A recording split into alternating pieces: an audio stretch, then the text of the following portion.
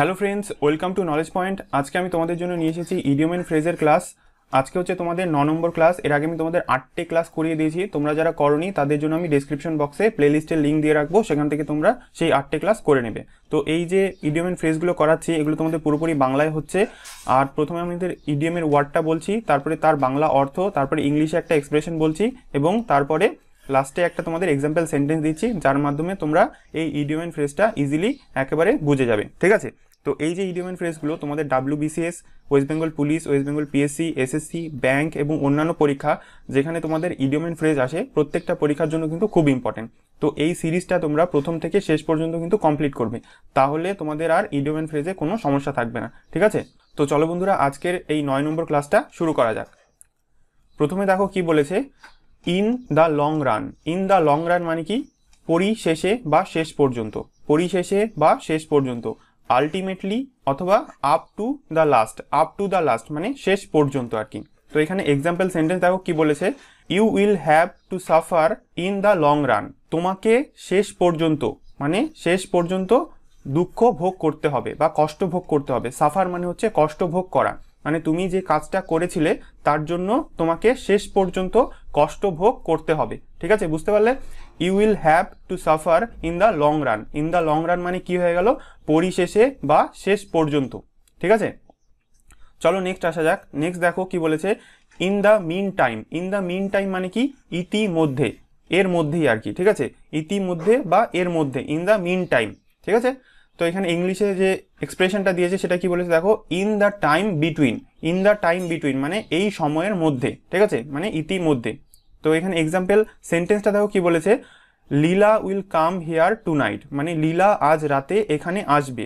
In the meantime মানে এর মধ্যে you should get her room ready মানে এর মধ্যে তুমি তার যে ঘরটা রয়েছে, সেই ঘরটা তৈরি করে রাখো। ঠিক আছে? মানে রেডি করে রাখো, বুঝতে পারলে? তো লীলা আজ রাতে এখানে আসবে, তার মধ্যে বা এর মধ্যে তুমি তার ঘরটা পরিষ্কার করে রাখো বা তৈরি করে রাখো, বুঝতে পারলে? ইন দ্য মিন টাইম মানে কি? ইতিমধ্যে বা এর মধ্যে। ঠিক আছে? এতটুকু বুঝতে পারলে? চলো নেক্সট আসা যাক। নেক্সট দেখো কি বলেছে?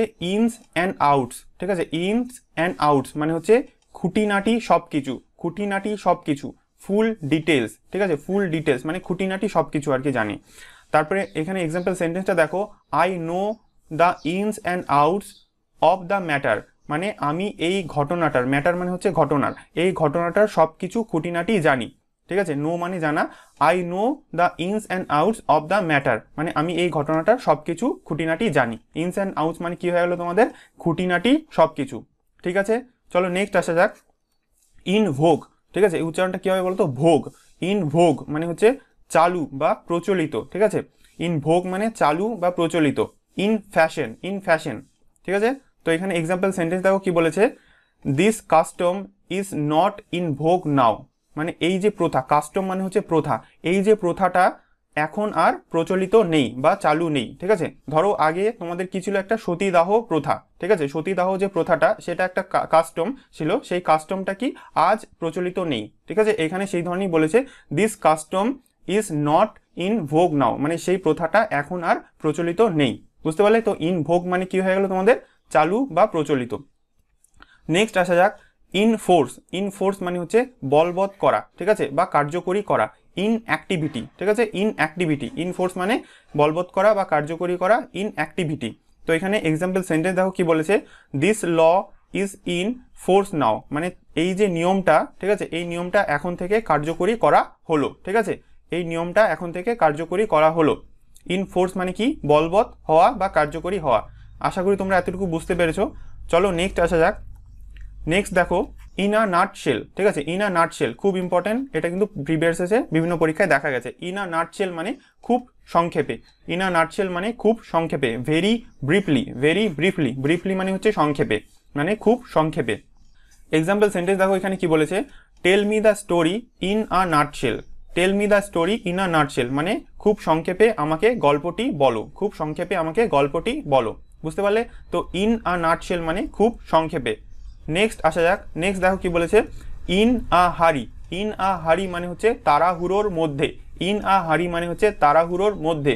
ভেরি কুইকলি কুইকলি মানে কি? তাড়াতাড়ি। তো ভেরি কুইকলি খুব তাড়াতাড়ির মধ্যে বা তাড়াহুড়োর মধ্যে। তো এখানে এক্সাম্পল সেন্টেন্স দেখো কি বলেছে do not do the work in a hurry মানে তাড়াহুড়োর মধ্যে কোনো কাজ করো না, ঠিক আছে? কোনো কাজ কি তাড়াহুড়োর মধ্যে করো না। ইন আ হারি মানে কি হয়ে গেল? তাড়াহুড়োর মধ্যে। বুঝতে পারলে? চলো নেক্সট আসা যাক। নেক্সট দেখো ইন টাইম ইন টাইম মানে হচ্ছে ঠিক সময়ে বা সঠিক সময়ে। In proper time in proper time মানে সঠিক সময়ে। এক্সাম্পল সেন্টেন্স দেখো এখানে কি বলেছে he reach the station in time he reach the station in time মানে সে সঠিক সময়ে কি স্টেশনে পৌঁছে গিয়েছিল। ঠিক আছে? সে সঠিক সময়ে স্টেশনে পৌঁছে গিয়েছিল। ইন টাইম মানে কি হয়ে গেল? ঠিক সময়ে বা সঠিক সময়ে। আশা করি তোমরা এতটুকু বুঝতে পেরেছ। চলো নেক্সট আসা যাক। নেক্সট দেখো।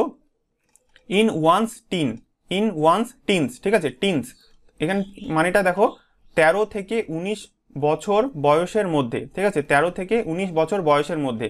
তো তোমাদের, তোমরা অনেক সময় শুনে থাকবে যে টিনেজার বলা হয়, ঠিক আছে? তো টিনেজার কাদের বলা হয়? থার্টিন ঠিক আছে? থার্টিন থেকে নাইনটিন ইয়ার্স ওল্ডের মধ্যে যেসব তরুণ তরুণীরা থাকে, তাদেরকে কি বলা হয়? টিনেজার বলা হয়, ঠিক আছে? টিনেজার ঠিক আছে? দেখবে থার্টিন থার্টিনের শেষে টিন থাকে, ঠিক আছে? থার্টিনের শেষে টিন থাকে, আবার নাইনটিনের শেষে টিন থাকে, ঠিক আছে? তারপরে যদি তুমি টোয়েন্টি চলে দাও, তো টোয়েন্টি শেষে কিন্তু টিন থাকবে না। আবার তোমরা যদি আগে চলে আসো টুয়েলভ টুয়েলভের শেষেও কিন্তু টিন থাকবে না, ঠিক আছে? তো থার্টিন থেকে নাইনটিন ইয়ার্স ওল্ডের যেসব তরুণ তরুণীরা থাকে, তাদেরকে কি বলা হয়? টিনেজার বলা হয়, ঠিক আছে? তো ইন ওয়ান্স টিন মানে তেরো থেকে উনিশ বছর বয়সের মধ্যে যারা থাকে, তাদেরকেই কি বলা হয়? টিনেজার বলা হয়, ঠিক আছে? তো এখানে দেখো, এখানে যে ইংলিশে একটা ওয়ার্ড দিয়েছে, সেটা হচ্ছে অ্যাডোলেসেন্ট অ্যাডোলেসেন্ট মানে হচ্ছে তরুণ তরুণী, ঠিক আছে? অ্যাডোলেসেন্ট কাদের বলা হয়? তরুণ তরুণীদের কি বলা হয়? অ্যাডোলেসেন্টও বলা হয়, ঠিক আছে? বুঝতে পারলে? তো টিনেজার কাদের বলা হয়? থার্টিন থেকে নাইনটিন ইয়ার্স ওল্ডের মধ্যে যারা থাকে, তাদেরকে বলা হয় তোমাদের টিনেজার তো এখানে দেখো ইংলিশে এক্সাম্পল সেন্টেন্সটা কি দিয়েছে? She is yet in her teens she is yet in her teen মানে সে এখনও তার তরুণ অবস্থায় রয়েছে। সে এখনও তার তরুণ অবস্থায় রয়েছে। মানে কি বোঝাতে চেয়েছে? মানে তার বয়স এখনও থার্টিন থেকে নাইনটিনের মধ্যে। বুঝতে পারলে? ইন ওয়ানস্টিন মানে তেরো থেকে উনিশ বছর বয়সের মধ্যে অ্যাডোলেসেন্ট ঠিক আছে? অ্যাডোলেসেন্ট ওয়ার্ডটাও কিন্তু খুব মনে রাখবে, কিন্তু ওয়ান ওয়ার্ড সাবস্টিটিউশনে কিন্তু অনেক সময় চলে আসে, ঠিক আছে? অ্যাডোলেসেন্ট মানে যাদেরকে তেরো থেকে উনিশ বছর বয়সের মধ্যে থাকে, তাদের অ্যাডোলেসেন্টও বলা হয়, বুঝতে পারলে? চলো নেক্সট আসা যাক।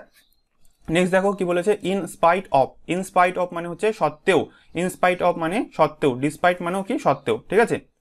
তো এখানে এক্সাম্পল সেন্টেন্সটা দেখো কি বলেছে in spite of my warning he did not give up the bad habits মানে আমি তাকে কি সতর্ক করেছিলাম? ওয়ার্নিং মানে হচ্ছে সতর্ক করা কাউকে। আমার সতর্ক করা সত্ত্বেও, ঠিক আছে? ইনস্পাইট অফ মানে সত্ত্বেও, আমার সতর্ক করা সত্ত্বেও সে তার বদ অভ্যাস ব্যাড হ্যাবিট মানে বদ অভ্যাস বদ অভ্যাসগুলো ত্যাগ করেনি। গিভ আপ মানে হচ্ছে ত্যাগ করা। আমার সতর্কতা সত্ত্বেও সে তার বদ অভ্যাসগুলো ত্যাগ করেনি। ইনস্পাইট অফ মানেও সত্ত্বেও। বুঝতে পারলে?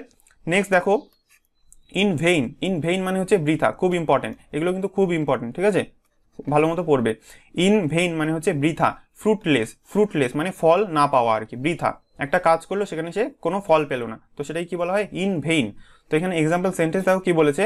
All his attempts were in vain মানে সে যতগুলো চেষ্টা করেছিল, প্রচেষ্টা করেছিল, প্রত্যেকটা কি হয়ে গেল? বৃথা হয়ে গেছিল, ঠিক আছে? তার সকল প্রচেষ্টা বৃথা হয়েছিল। ইন ভেইন মানে কি? বৃথা। আশা করি তোমরা এতটুকু বুঝতে পেরেছ। চলো নেক্সট আসা যাক। নেক্সট দেখো কি বলেছে? In the wake of in the wake of মানে পিছু পিছু ইন দ্য ওয়েক অফ মানে পিছু পিছু ইমিডিয়েটলি আফটার ইমিডিয়েটলি আফটার ঠিক আছে? মানে আফটার মানে কি? তার ঠিক পরে আর কি, তার ঠিক পরে ইমিডিয়েটলি আফটার ঠিক আছে? ইন দ্য ওয়েক অফ মানে পিছু পিছু। তো দেখো এখানে এক্সাম্পল সেন্টেন্সটা কি বলেছে? An epidemic follows in the wake of flood মানে ফ্লাড বন্যার পিছু পিছু একটা কি মহামারীও এসেছিল, ঠিক আছে? এপিডেমিক মানে হচ্ছে মহামারী। আর পেন্ডামিক পেন্ডামিক মানে কি? পেন্ডামিক মানে হচ্ছে অতিমারি, ঠিক আছে? এপিডেমিক মানে মহামারী আর পেন্ডামিক এখন যেটা হচ্ছে করোনা করোনা কি? পেন্ডামিক তোমাদের। তো পেন্ডামিক মানে হচ্ছে অতিমারি। তো এই এপিডামিক আর পেন্ডামিকের মধ্যে পার্থক্যটা কি? এপিডেমিক মানে হচ্ছে একটা নির্দিষ্ট এরিয়ার মধ্যে সেটা হবে, ঠিক আছে? এপিডেমিক মানে মহামারী বা সেই রোগটা যে ছড়াবে একটা এরিয়ার মধ্যে থাকবে, ঠিক আছে? তো সেটাকে কি বলা হয়? এপিডেমিক আর পেন্ডামিক কাকে বলবে? যদি সেটা গোটা বিশ্বে ছড়িয়ে পড়ে, ঠিক আছে? গোটা বিশ্বে ছড়িয়ে পড়ল, সব জায়গায় ছড়িয়ে পড়ল মানে একটা এরিয়ার মধ্যে সীমাবদ্ধ থাকল না, গোটা বিশ্বে ছড়িয়ে পড়ল। তো সেটাকে বলা হবে তোমাদের পেন্ডামিক ঠিক আছে? বুঝতে পারলে? এপিডেমিক মানে একটা এরিয়ার মধ্যে সীমাবদ্ধ, কিন্তু পেন্ডামিক মানে হচ্ছে গোটা বিশ্বে ছড়িয়ে পড়বে, ঠিক আছে? তাকে বলা হয় অতিমারি, ঠিক আছে? অতিমারি। মহামারী মানে ছোট জায়গার মধ্যে পড়বে, আর অতিমারি মানে হচ্ছে গোটা বিশ্বে ছড়িয়ে পড়বে। আশা করি তোমরা এতটুকু বুঝতে পেরেছ। তো এখানে বলেছে যে বন্যার ঠিক পরেই, বন্যার ঠিক পরেই কি হয়ে গেছিল? একটা মহামারী দেখা গিয়েছিল। বুঝতে পারলে? ইন দ্য ওয়েক অফ মানে কি? পিছু পিছু ইমিডিয়েটলি আফটার আশা করি তোমরা এটা বুঝতে পেরেছ। চলো নেক্সট আসা যাক। আয়রনি অফ ফেট ফেট মানে হচ্ছে ভাগ্য। ফেট মানে কি? ভাগ্য। আয়রনি অফ ফেট মানে হচ্ছে ভাগ্যের পরিহাস।